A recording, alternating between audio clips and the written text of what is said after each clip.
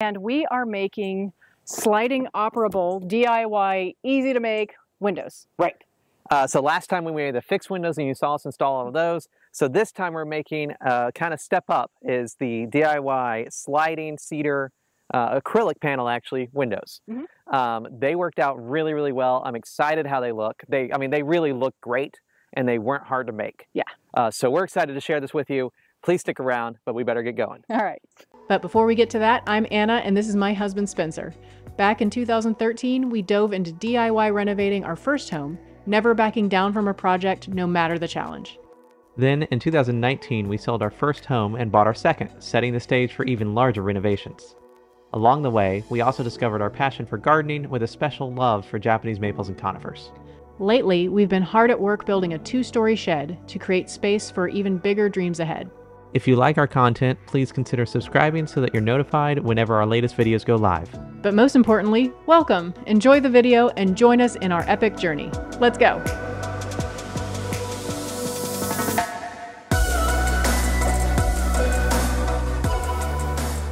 Good morning, everyone. Good morning. Today we're working on the shed again near the end of our shed project. I know, it's so exciting. So today we are going to talk to you about our shed windows that we made that are functional, operable, opening windows. Right. They're sliding, you would call them sliding glass windows. We're actually using acrylic, but it's essentially a sliding glass window that actually functions. So fancy. Um, we're really excited about it. It worked great. Uh, and so I'm happy to share it with you. Uh, you could make this for your home, potentially. Yeah, but uh, these are definitely made for our shed. We cut some corners on the finishing on the back side of them, and you'd make them similar concept, but just a little bit more refined if you were going to make windows for your actual house. Well, and on the budget side, so I did the numbers, and each of these windows cost us roughly forty to forty-two dollars. Um, and price-wise comparison to like a shed window provider, mm-hmm. it was the minimum was eighty dollars, and for something similar to these, even close, was around one hundred and sixty. Yeah, but you weren't even able to find these actual dimensions, so we would have yeah. had to build build our windows to the dimensions that we could find a stock window in. Right. So instead, we actually built the windows. Yeah. Uh, and with this too, we also got a nice cedar finish on it, and you can hopefully see that in the video right now. I mean, it looks really, really good. I mean, it looks custom, it looks great, and it saved us money. So overall, it's a big win. Yeah. Um, so we're excited to show you. We're probably going to show you just us assembling one of these frames, uh, just because it's a little intense and we don't need to share it over and over and over. Mm-hmm. We'll show you one of them. It might be the last one that we actually did that okay. we got the best video for. Uh, but we're going to show you how we did it. Uh, we're going to show you every step of the way, and then we're going to show you us installing it. Um, so y'all buckle up. It's going to yeah. be a long video, but it should be really good. We better get going. All right. Oh, one more thing. In addition to just making the window frames, we also made the sliding rails that we did for the frames to slide in. And that's also just made out of wood and pretty as cheap as you can get, I think. Honestly, it is. Uh, we did not buy a track for this. We did. There are aluminum tracks you could buy. We didn't buy any of that. We actually just used the cedar that we have. I did do a lot of research into things that we could buy and tracks and things, and we just decided to do this. And it's very very cheap. it's yeah, cost effective. Yeah. Um, and honestly, it should keep the bugs out, the air out. It's it does seal. You can feel it as soon as we close all the windows up here. You can feel it that it's really sealed in. Um, so anyway, all right, now we really should get going. Sure.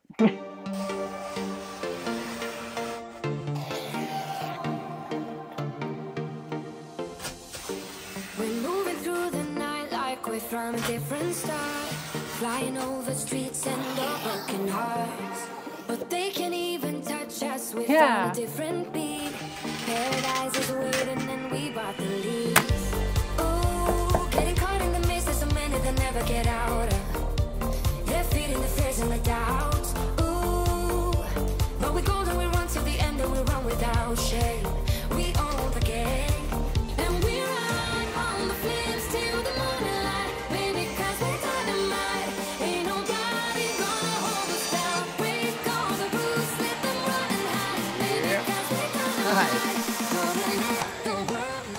First step to building our sliding windows is to get the proper size for each opening. In order to do this, we're installing the window jamb. First we'll install the top and bottom pieces, get the measurement, and then install the side pieces.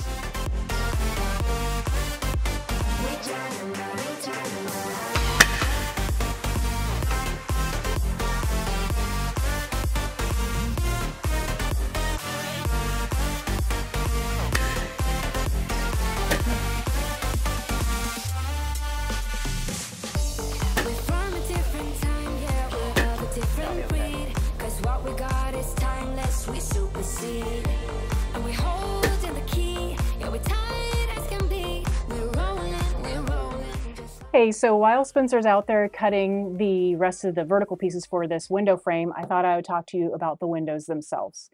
So we are going to be installing windows in the rest of the shed. And the windows that we installed before were fixed windows. So that means that they don't open at all. And we installed them by simply just putting a stop, a piece of glass, and a stop. And that basically just holds the, the glass in place pretty simple. So these front two windows and the one side over there, we want those to be operable because we thought it might be nice to have a cross breeze in here. And honestly, having these windows open already up here, it makes a big difference. so the operable windows, we had a couple of choices. So our first option was a window that would open with hinges. And the first thing that popped into mind was a window that opened like this. And that way, pretty simply, it could stay open by putting a prop stick there, and not complicated whatsoever. Um, I didn't really like that choice because that meant the hinges would be on the outside of the building and it would be visible. And I don't know if I can get some that are like weather resistant and it just wasn't great. And that also would mean that the window wasn't wouldn't be really open all the way, maybe like 45 degrees. Um, it would keep rain out if you accidentally left it open. Uh, the rain would fall on it and then fall forward, so that's a bonus. Uh, the other choice was have it be more like a casement. So that's something that where the window, instead of opening this way, opens to the side. And that's a casement window, also with hinges, nothing fancy. We're not going to build complicated windows here. We were just going to put some um, hinges on there. And so finally, after a couple of days, we were like, wait a minute, it's a Japanese style shed. Why are we not making sliding windows? So sliding windows it is. In this case, we're just going to be building the window frame and having a piece of plexiglass on the inside. Uh, it doesn't necessarily need to be glass for us. Plexiglass is clear enough and it's uh, shatterproof. It's not going to break. It's pretty safe. So for our operable window that's going to be sliding, we're going to be building it in kind of a similar way to the fixed windows in that it is going to be having two stops at the top, kind of like the fixed windows. So if these were our stops, these are not our stops, these are just little pieces of scrap I'm showing you. So on the top side, we're going to have a stop and a stop, and our window is going to slide between this groove. Also, we're not quite sure if one window in this set is going to be fixed and the other one's going to move, or they're going to be bypass windows. Uh, we'll just have to make that decision. Oh, another thing I forgot to say is that another reason why we want a sliding window is because we're going to have the decorative screen in front of these windows. And so a window that opens, that's going to be in the way. So we wouldn't be able to have our screen if the windows open uh, out with hinges anyway. And also Spencer wanted me to mention that this is good practice for the door below, which we also want to be on a sliding track. I think we might go with some hanging hardware for the bottom door, but we'll see.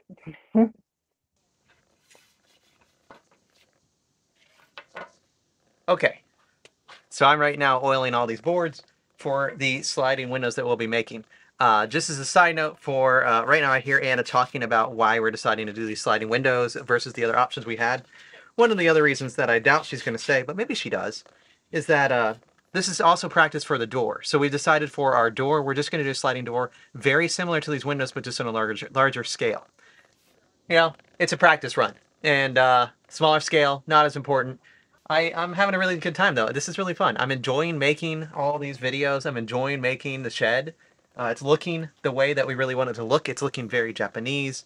Uh, it's fitting really, really into uh, our landscape. Um, it's looking like it's been there for a long time. We might cover up those CMU blocks at the bottom maybe. But uh, I mean, overall, I'm having a great time with this. I'm really excited that we did it and that it's turning out the way we wanted it to.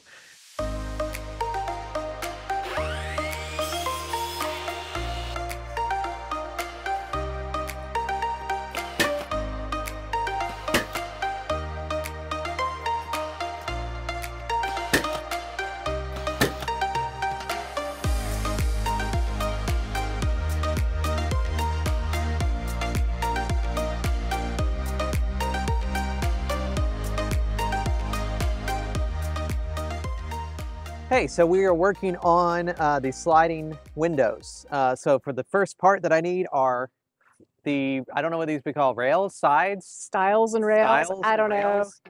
Sorry. The There's piece of woods that the pieces of wood that go on the sides of the window, top and bottom. Uh, so I'm cutting these to two and five eighths. That should allow us a good overlap. Uh, so this is two and five eighths. I'm going to cut down a couple more. We need eight pieces total, and we're going for 34 inches across and roughly 27 inches tall. The height will vary depending on if it's at the middle of the window or at the front of the window. Um, so that actually will vary the height. But here we go. Got to make some more.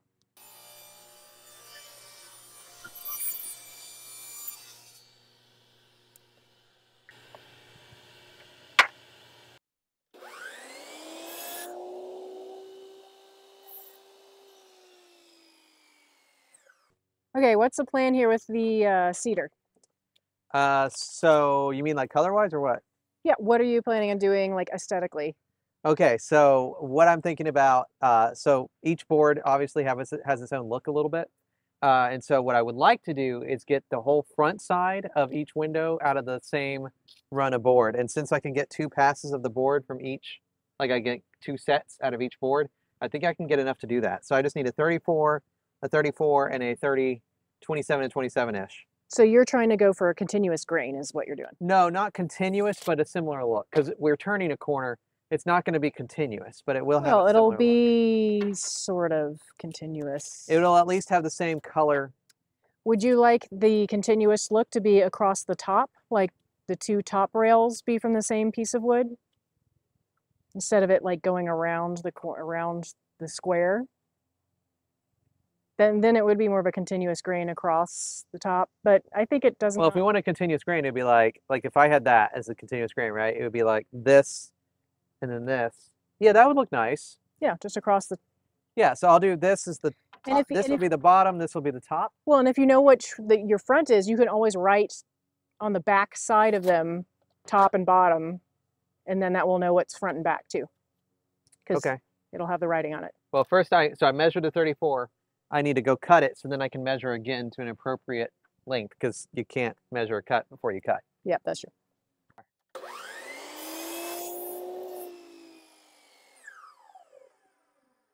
So Anna has a magic technique on making everything line up. Let's find out what it is. Because I don't oh, know what it I is. don't know if it's magic, but okay. So these are the back of the board. So we decided this is going to be the front of our boards. So I'm going to draw on the back, and we want to make sure that we know that these are the two that go together. So I could write back, left window, back, right window, or whatever on there. But to make sure we know that they go together, you take and you draw a triangle. And that way, your two triangles are never going to be the same. If I do the same triangle on another piece, it won't perfectly line up. That way, we know that these are the ones that go together. Hey, so what were you doing over there in the shed? Hey, so I just took these pieces. So these are our like vertical ones that are going to go like next to each other, right? So they're actually going to overlap a little bit Uh-huh. because of like that's how we're supposed to do it because you have a vertical piece. And so it looks These like they- the vertical or the horizontals? these are horizontals, but I wanted to see how much they overlap to make sure it's appropriate. Okay. So they will overlap each other by two and three quarters inches. Mm-hmm. and these uh, stiles or whatever they're called are two and five eighths. So that's going to be fine. Like that'll be good. Okay, good. Uh, so it should work out. That's enough of an overlap, but hopefully not too much. Are we using the right terms? Is stiles the right term? I think you do stiles and rails, but I don't know which one is which. yeah. I Okay. I honestly have no clue. Yeah, I have to look that up. Okay, so something we figured out. so we're cutting to 27 and 34, but we actually need them all to overlap. So here's what we're doing. We're, They're all they're all overlapping with each other, and then we're going to overlap them in an opposite way on the other side so Yep. that we don't have to do any really fancy joinery. So this is 34. Basically, we had the 34 inch long piece of wood, and then we cut off this width. much, the width of, is our little template block. And then this is 27. All right, so I got to go cut another one of these to this length, and we should be good to go. Yeah. Hey, okay, I just want to say, so now this is all cut correctly. So this is the one side, and then what will happen, so this is like the other side, right? So this one stops here, so the next one is going to go over this here. This actually isn't cut to the right length yet. So this is, we're making a sandwich of wood and putting our plexiglass in between. Right, so we're having an overlap on each side so that the screws that we have here will end up interlocking with each board so that it's just easy. Um, I'm hoping this is right. This works. I will use some Titebond. So now I'm using this as a template to get Got my it. other cuts.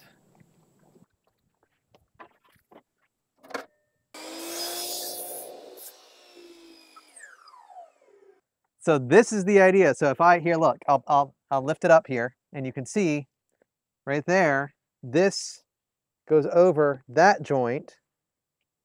And then this one is going over these joints. So they all interlock with each other. Y'all, we're acting like we're smart. This has probably been done so many times, but we did not find it when we Googled. So we feel like we're smart. It's probably one of those super obvious things. I mean, every woodworker is probably watching this and be like, "Oh you my dum dums.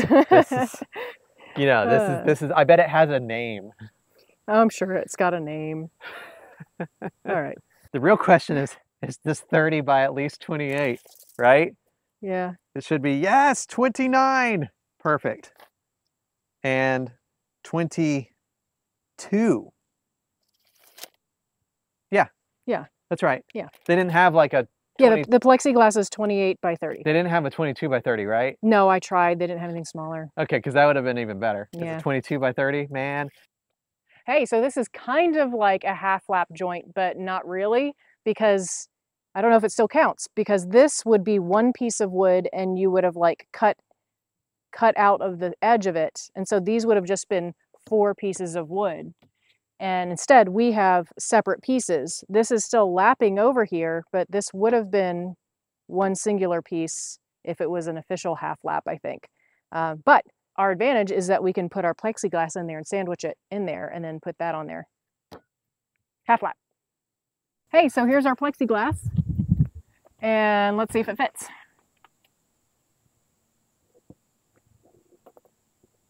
There we are. I mean, this isn't assembled yet, so things are kind of a little sloppy and loose. But that looks fairly appropriate. Now we'll have to cut this down to length a little bit because it's too long. Okay, I'm inside the basement and I'm about to cut this plexiglass right here. Uh, scoring and snapping. We'll see how it goes.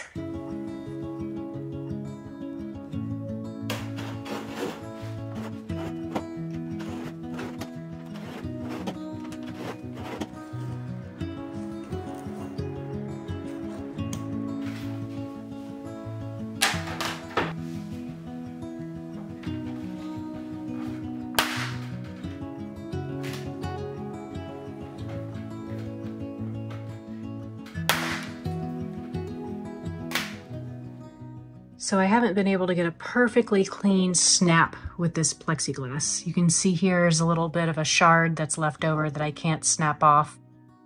So I scored it on one side a bunch and then I flipped it over and scored it on the other side and I removed the plastic film because I thought that might be something that might be hindering it. Uh, I just snapped it. It came off in shards like this, but it came off in flat shards, just the other parts kind of snapped because we don't have it doesn't have to be perfect for our purposes like these little triangle pieces that didn't snap off Okay. are there but i don't think they'll be an issue because in our case it doesn't really matter it'd be nice if it was clean all the way across but that's just what how it happened Okay, so now that we have that set up, Anna's cutting the plexiglass inside on our cutting mat. Uh, and so I'm gonna go ahead and start cutting out more. Now that we have a template that's working, I'm gonna start cutting, uh, basically copying this for the other window uh, while she's doing that. It should go pretty quick.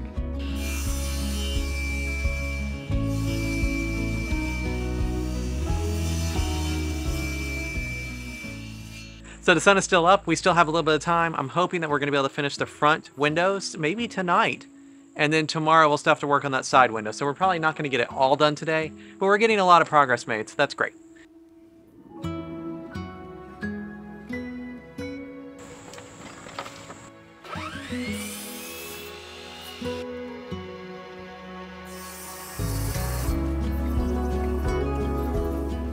Hey, okay, so uh, all four of these are cut. This is all we'll need for the front windows. Um, while cedar has a kind of pleasant smell while you're cutting it, uh, oak does not. Yeah, I put red oak. i put a mask on So there you go. There's four stops, and we'll cut them down to size once they're up there. yeah this is going to be our track Okay, so I just wanted to show how this will actually work. So each piece of wood would essentially sandwich the plexiglass. This would go over here like that, and this would go over here like that, and this would go over here like that, and this right here, like that.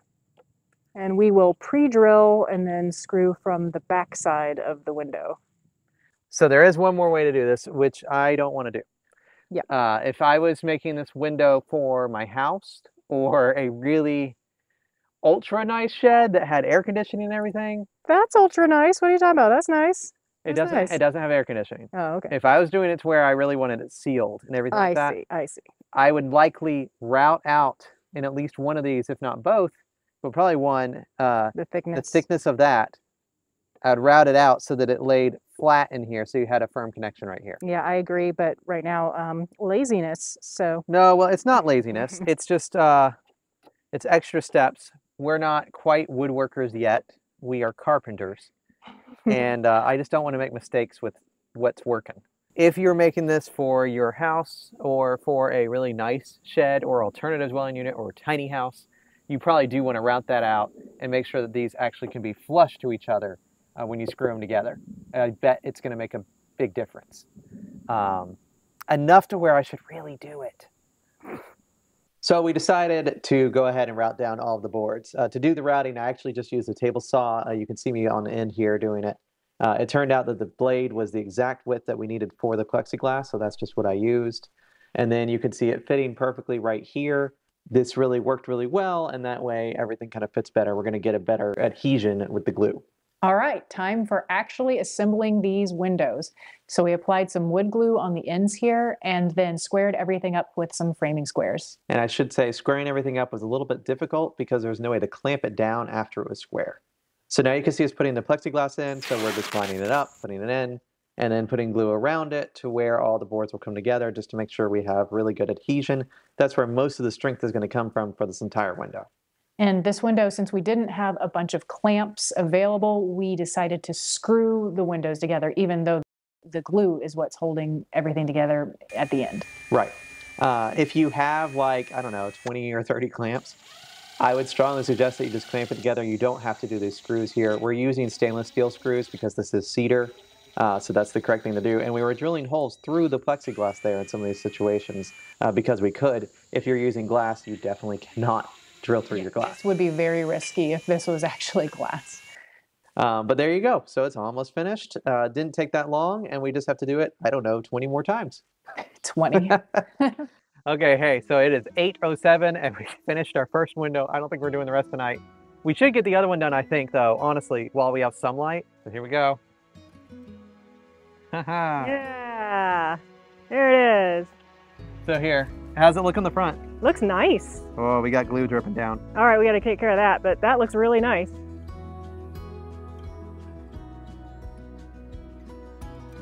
Hey, so what we're about to do is we're gonna go see if these windows fit in the shed. We haven't actually looked. We don't know if this is gonna work. You have to see if these our measurements are correct. We're terribly off. It could be a disaster. Right, we have no clue. uh, they should be roughly correct. I'm expecting to have to uh, cut them a little bit on the table saw.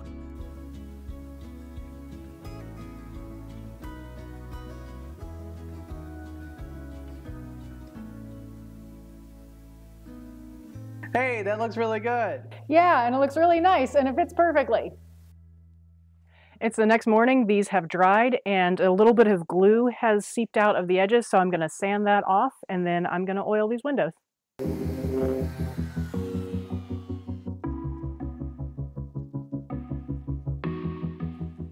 So Anna is sanding the frames and oiling them, and while she's doing that, I'm going to go ahead and start working on installing the stops on the window.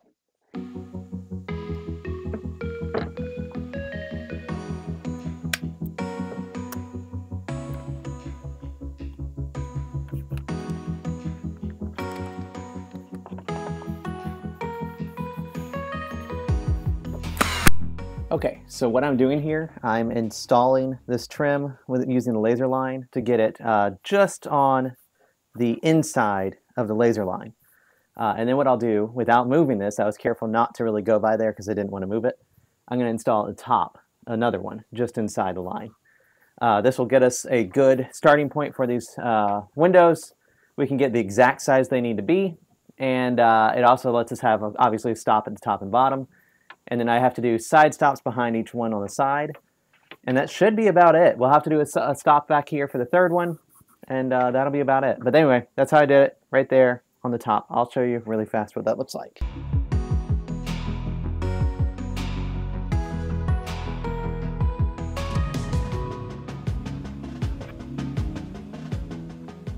Okay, so now we have the uh, top stop and bottom stop installed. I need to do the very edge of each piece, uh, but that should be fine. And then uh, now we can actually get our real measurements for where these windows will be placed. Good morning. Morning. What are we doing? Installing these windows. Actually, right now, more specifically, we are putting them in the opening to see if they fit. If they don't fit, we'll trim them down just a little bit. Okay. Okay. And guys, uh, we fully expect them to not quite fit. I did it pretty close to the measurement that we measured and tipping them in. Uh, it's probably gonna be a little bit of an issue. Uh, this was the plan from the get-go uh, because each one has a little bit different of a measurement uh, depending on where it is on the actual window. A little tight. So too tight? Yeah. Do we need to cut off a whole lot? Yeah, let me see this one though. If I go here, Mm-hmm. if this is the other one over here, Mm-hmm. right, and it slides. Yeah. So we weren't quite sure where the measurement would fall on the actual window opening. Now that we have the stops down, we know exactly the measurement it needs to be. I had cut them to 27 and 3 eighths inches, but when I measured it, 27 and 1 quarter would work a little better. So what we're going to do is cut the top away so that we don't mess up any of the alignment. Uh, and we're going to cut away just a little bit at a time. Right now I'm going to go a little bit above 27 and a quarter, even though I know that's correct, and go check it and make sure if that's enough or does it need more play. Uh, because you have to tip it in, uh, it's going to have to be a little bit shorter than what we need, but we want to make sure we don't go too short to where the stops don't catch it. So we're gonna sneak up on it with a cut. Yeah, we're going to sneak up on it. So right now I'm a little bit too far in. Yeah, we're that's, that's more more than- than I want to do. More than blades width. Important note here. So while we're doing this, we're making sure to keep this up at the right height because there's nothing here supporting it underneath this. Yeah, so I'm just here, I'm supporting this edge, and I'm also just receiving it since we don't have a table for it to land on. I'm not pulling it towards me, I'm just here taking it and acting kind of like a table. And like I was saying, from the very beginning, we were expecting to have to do this. Uh, this is just the easiest way because our sill is at a slope. It's just easier to put the stops in place and then figure out the measurement.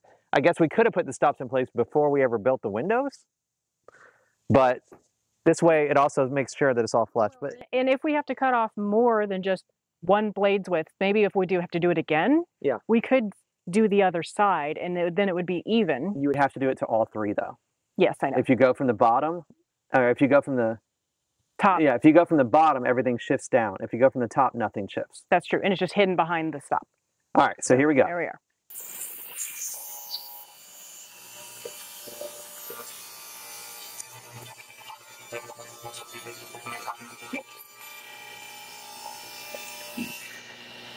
Yeah, so it's nice, freshly cut. I mean, now it's if it wasn't flat before, Now it is. it is absolutely now flat and flush. Yep. All right, let's go try this really fast to see if it fits. Okay.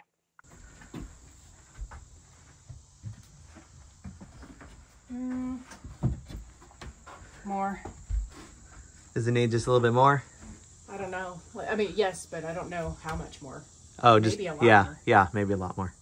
Okay, so we just uh, were able to put that one in. It worked great. Uh, for its location on the right side, it's perfect. However, on the left side, which is not where that one's going, it would be uh, too tight. So I've adjusted the saw just a little bit, uh, about an eighth of an inch more in, and then we'll be ripping uh, the next one down. This is the other one on the exact left opposite side.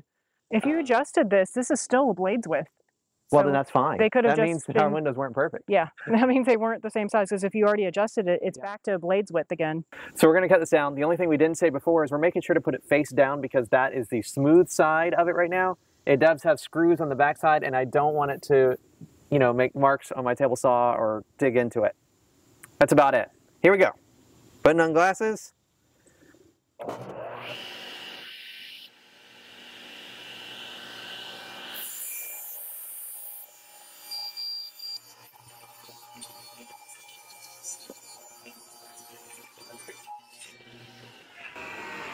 Okay, so let's go see if this fits.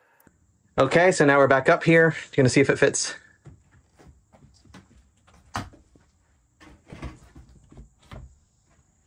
Yeah, Does that fit? I think so. Yeah, and it's nice and tight. I can also see daylight through the stop. Does it slide open? Not a problem. Yeah, great. It really helps that they're super light. Well, and yeah, just to show here, there's no groove here. It's just riding against the track, against the stop. Yeah. I'm oiling our final three windows. Okay. Yeah.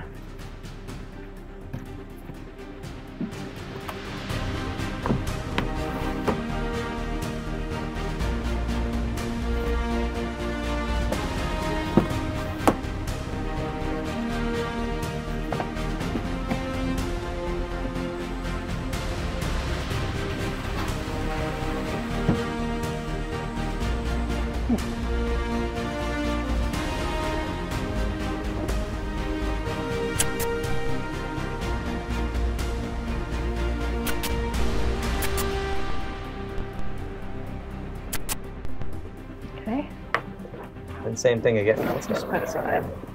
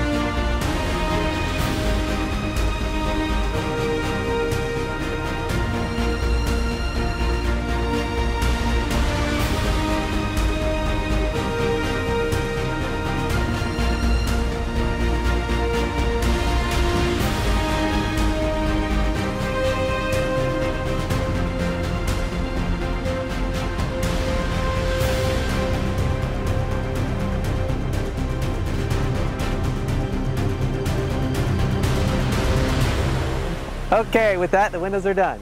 Yep, and I think the shed is looking really nice. It's looking a lot more finished than it has been, especially with getting rid of all that house wrap. Yeah.